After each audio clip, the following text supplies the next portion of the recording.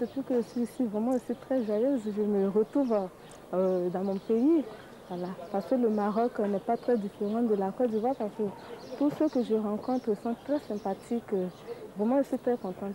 Je profite euh, euh, de tout ce qu'ils font parce qu'il y a des choses que j'ai découvertes, vraiment, des techniques que je ne connaissais pas. Par exemple, il y a un Sénégalais qui travaille avec le sable, qui est vraiment intéressant. Alors, je n'avais pas vu ça auparavant.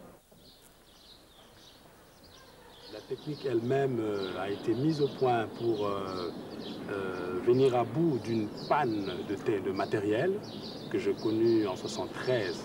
Je crois que c'est dans ce but-là que nous nous retrouvons aujourd'hui dans cette rencontre de la francophonie qui nous permet d'échanger des expériences. Et je suis personnellement content de profiter de ces échanges d'expériences, si bien que je partirai d'ici avec une excellente idée de la francophonie.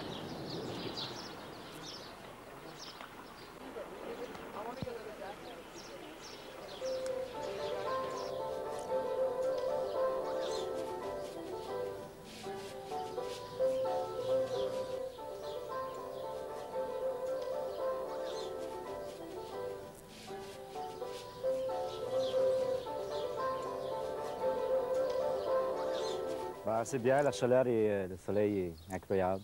Euh, ce qui est bien ici, c'est euh, de voir toutes les autres tendances, d'avoir la chance de, peindre dans les jardins d'Oudaya.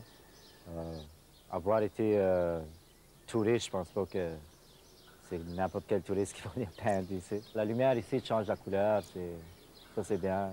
En faisant ces jeux de la francophonie, il y a tellement de différents niveaux, de différents styles, de différentes tendances ça donne aussi la chance de voir d'autres mondes, d'autres peintres qui sont soit à l'écart complètement de ce que tu fais ou qu'est-ce que ou, qu'ils ont une autre démarche ou que les démarches se ressemblent.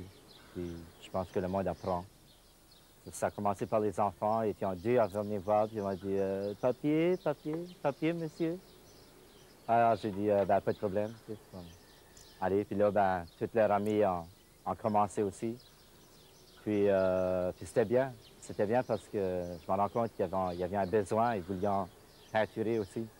ça se sentait, puis je pense pas qu'il y aurait eu la chance autrement.